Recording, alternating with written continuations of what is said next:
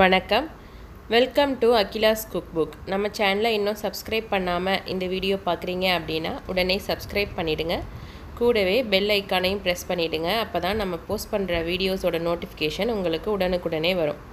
இன்றைக்கி என்ன சூப்பரான ரெசிபி பார்க்க போகிறோம் அப்படின்னா ஒரு சூப்பரான healthy snacks sweet variety Thoothukudi famous macaroons இது செய்ய தேவையான பொருட்கள் ரெண்டு முட்டை ஒரு half cup caster sugar half cup cashew vanilla essence ஒரு டீஸ்பூன் முட்டையோட வெள்ளைக்கரு மட்டும்தான் நமக்கு தேவை.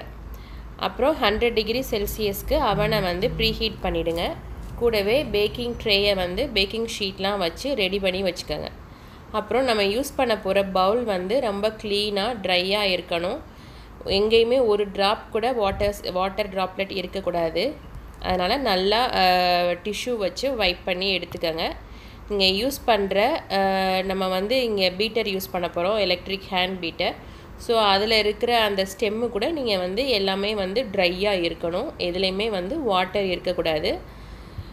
எக் செப்பரேட்டர் யூஸ் பண்ணி நான் இன்றைக்கி எக் ஒயிட்டை வந்து தனியாக பிரிக்க போகிறேன். ஸோ அதுக்கு வந்து அந்த எக் ஒயிட்டு அதாவது எக் செப்பரேட்டர் அந்த பவுலு நீங்கள் யூஸ் பண்ணுற நைஃப் எல்லாமே வந்து should be clean and dry இப்போ நான் ஒவ்வொரு முட்டையாக வந்து நம்ம அதை உடச்சி நம்ம யோக் தனியாக ஒயிட் தனியாக எடுத்துக்க போகிறோம் நம்ம ஒயிட் மட்டும்தான் நமக்கு தேவை. ஸோ அதை மட்டும் நம்ம பிரித்து எடுத்துக்கலாம்.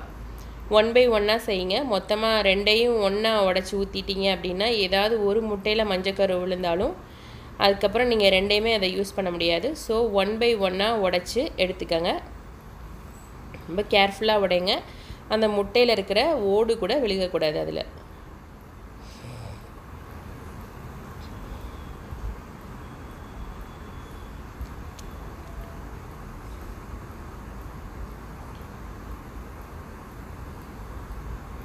இப்போ ஃபஸ்ட்டு முட்டையே எடுத்தாச்சு. மஞ்சக்கரு மட்டும் யோக் மட்டும் தனியாக நம்ம பிரித்து எடுத்தாச்சு. இப்போ இதை வந்து அந்த பெரிய மிக்சிங் பவுலில் நம்ம ஆட் பண்ணிக்கலாம். இன்னொரு முக்கியமான விஷயம் என்னென்னா நீங்கள் யூஸ் பண்ணுற எடுத்து யூஸ் பண்ணுற முட்டை சுகர் வெனிலா எசன்ஸ் கேஷ்யூ எதுவானாலும் ரூம் டெம்பரேச்சரில் இருக்கணும்.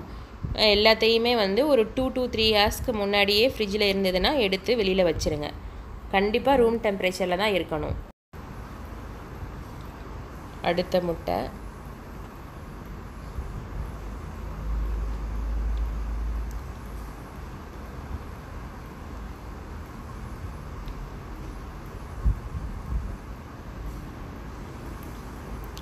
இந்த பவுல் நீங்கள் மிக்சிங் பவுல் வந்து ஃப்ளாட்டாக இல்லாமல் இது மாதிரி கொஞ்சம் கர்வாக இருக்கிற மாதிரி எடுத்துக்கிட்டிங்கன்னா உங்களுக்கு பீட் பண்ணும்போது ரொம்ப ஈஸியாக இருக்கும். இப்போ ஹேண்ட் மிக்சர் வச்சு நம்ம வந்து பீட் பண்ணலாம். சுகர் வந்து நம்ம நார்மலாக யூஸ் பண்ணுற சுகர் எடுத்துக்கோங்க. எடுத்து ஜஸ்ட்டு மிக்சியில் ஒரு தடவை பல்ஸ் பண்ணி எடுத்துக்கிட்டிங்க அப்படின்னா அது வந்து ரொம்ப பவுடர்ட் ஐசிங் சுகர் மாதிரியும் இல்லாமல் நார்மலாக யூஸ் பண்ணுற கிறிஸ்டல்ஸ் மாதிரியும் இல்லாமல் ஓரளவுக்கு நைஸாக இருக்கும். ஸோ அந்த மாதிரி எடுத்துக்கிட்டிங்கன்னா தான் உங்களுக்கு ஈஸியாக இருக்கும். ஸோ அது போல் நீங்கள் ஒரு தடவை எடுத்துட்டு மிக்சியில் ஜஸ்ட்டு ஒரு தடவை பிளெண்ட் பண்ணி எடுத்துக்கோங்க. இப்போ நம்ம சுகரை வந்து பக்கத்தில் எடுத்து வச்சுட்டு இது மாதிரி நொர வந்ததுக்கப்புறம் வந்து நம்ம பேட்ச் பை பேட்சாக ஸ்பூன் பை ஸ்பூனாக ஆட் பண்ணி நம்ம அதை வந்து பீட் பண்ணிக்கலாம்.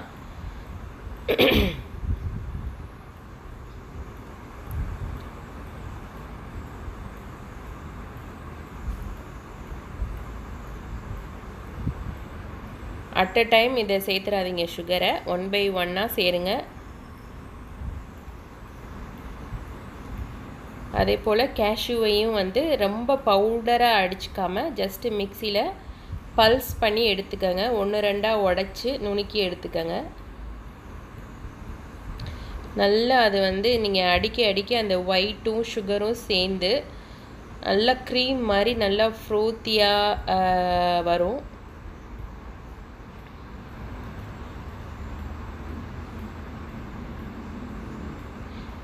ஸ்டாப் பண்ணாமல் பீட் பண்ணிகிட்டே இருக்கணும். இப்போ வந்து வெனிலா எசன்ஸ் ஆட் பண்ணி அதையும் நல்லா பீட் பண்ணுங்கள் ஸ்டார்ட் பண்ணும்போது உங்களுக்கு ரொம்பவே ஈஸியாக இருக்கிற மாதிரி இருக்கும். நீங்கள் நல்லா பீட் பண்ண பீட் பண்ண அது வந்து நல்லா ஏரியாக சு வந்து நல்லா நல்லா ஸ்மூத்தான ஒரு மிக்ஸாக வந்துடும் உங்களுக்கு. உங்களுக்கு வந்து நீங்கள் அதை பீட் பண்ணிகிட்டு இருக்கும்போதே நீங்கள் வந்து அதை உங்களால் ஃபீல் பண்ண முடியும்.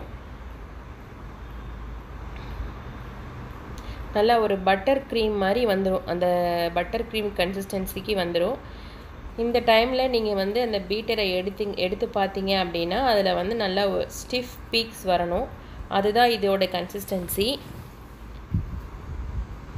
அது வரைக்கும் நல்லாவே நீங்கள் வந்து இதை பீட் பண்ணணும். இப்போ பாருங்கள் நீங்கள் எடுத்தீங்கன்னா இந்த மாதிரி உங்களுக்கு ஸ்டிஃப் பீக்ஸ் தெரியுது பாருங்கள் இந்த பீட்டர்லேயே உங்களுக்கு தெரியுது பாருங்கள் இந்த டைம் வந்து நீங்கள் அதை தலைகீழ அந்த பவுலை கவுத்தா கூட அந்த இருக்கிற மிக்சர் வந்து கொஞ்சம் கூட பொசிஷன் மாறாமல் அப்படியே இருக்கும். இதுதான் இதுக்கான கன்சிஸ்டன்சி ஸோ இந்த டைம் இந்த ஸ்டேஜ் வரைக்கும் நீங்கள் வந்து பீட் பண்ணணும். இதுக்கப்புறம் நம்ம வந்து கேஷ்யூ ஆட் பண்ணி நம்ம ஜஸ்ட்டு ஃபோல்டு பண்ணி ஜென்டலாக மிக்ஸ் பண்ண போகிறோம் கேஷ்யூ ஆட் பண்ணிவிட்டு நம்ம பீட் பண்ணக்கூடாது.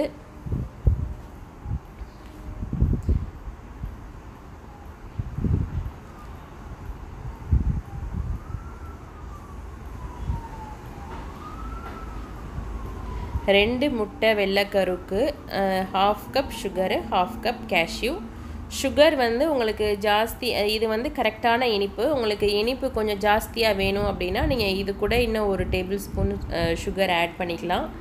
இல்லை எங்களுக்கு மீடியமான ஸ்வீட் போதும். இல்லை இன்னும் கொஞ்சம் கம்மியாக இருந்தால் நல்லாயிருக்கும் நீங்கள் ஃபீல் பண்ணிங்கன்னா ஒரு டேபிள் ஸ்பூன் வந்து சுகரை வந்து நீங்கள் கம்மி பண்ணிக்கலாம். ஸோ உங்களுக்கு த உங்கள் டேஸ்ட்டுக்கு தகுந்த மாதிரி சுகரை நீங்கள் வந்து ஆட் பண்ணிக்கோங்க.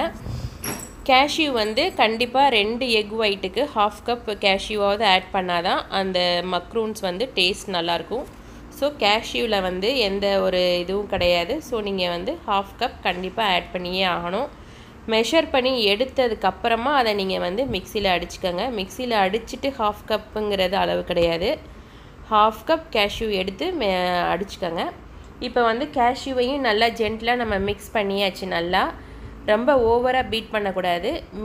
நல்லா மிக்ஸ் பண்ணதுக்கப்புறம் நம்ம அதை வந்து பைப்பிங் பேக்கில் இது மாதிரி நம்ம வந்து ஆட் பண்ணிக்கலாம். எல்லாத்தையும் அட் அ டைம் எல்லாத்தையும் எடுத்துருங்க.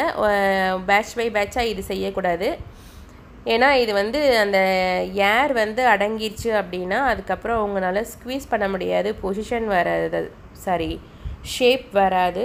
ஸோ இது வந்து நீங்கள் அட் அ டைம் வந்து எல்லாத்தையுமே வந்து பைப்பிங் பேக்கில் ரெண்டு பைப்பிங் பேக் வச்சு கூட நீங்கள் எடுத்துக்கலாம். பத்தலைனா ஆனால் அட் அ டைம் நீங்கள் வந்து செஞ்சிடணும். இதை வந்து வச்சுட்டு ஒரு டென் மினிட்ஸ் கழித்து செய்வோம் அப்படின்ற மாதிரிலாம் வைக்கக்கூடாது.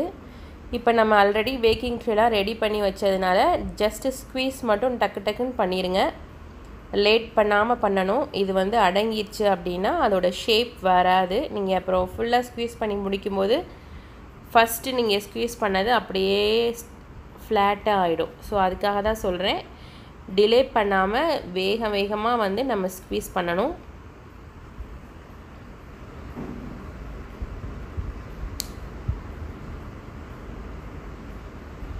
இது வந்து ரொம்பவே ஹெல்த்தியான ஸ்நாக்கு இப்போ வந்து அவன் வந்து ஆல்ரெடி நம்ம ஹண்ட்ரட் டிகிரி செல்சியஸ்க்கு ப்ரீ ப்ரீ ஹீட் பண்ணி வச்சுருக்கோம். ப்ரீ ஹீட் ஆன அவனில் ஒன் ஹவர் வந்து இதை நம்ம பேக் பண்ண போகிறோம் சாலிடாக ஒன் ஹவர் திறந்து திறந்து பார்க்கக்கூடாது. ஒன் ஹவர் முடிச்சுட்டு ஆஃப் பண்ணி ஒரு ஃபிஃப்டீன் மினிட்ஸ் அப்படியே வச்சுருங்க. One five fifteen minutes let it be அந்த அவனில் அப்படியே இருக்கட்டும். அதுக்கப்புறமா எடுத்து பார்த்தீங்கன்னா நல்லா கிறிஸ்பியாக அது பொசிஷன் அப்படியே இருக்கும். கொஞ்சம் நீங்கள் கொடுத்த நீங்கள் ஸ்க்வீஸ் பண்ண ஷேப்லேருந்து லைட்டாக ஷ்ரிங்க் ஆகிருக்கும் ஆனால் ஷேப் வந்து அப்படியே தான் இருக்கும். இது ரொம்ப டேஸ்டியாக இருக்கும் சூப்பராக இருக்கும். கண்டிப்பாக குழந்தைங்களுக்கு பிடிக்கும். இது ரொம்பவே ஹெல்த்தியும் கூட. கண்டிப்பாக ட்ரை பண்ணி பாருங்கள் ட்ரை பண்ணி பார்த்துட்டு எப்படி வந்தது அப்படின்னு கமெண்ட்ஸில் சொல்லுங்கள் இந்த மாதிரி இன்னொரு இன்ட்ரெஸ்டிங்கான ரெசிப்பியில் ஹெல்த்தியான ரெசிப்பியில் நம்ம சந்திப்போம். Thank you happy new year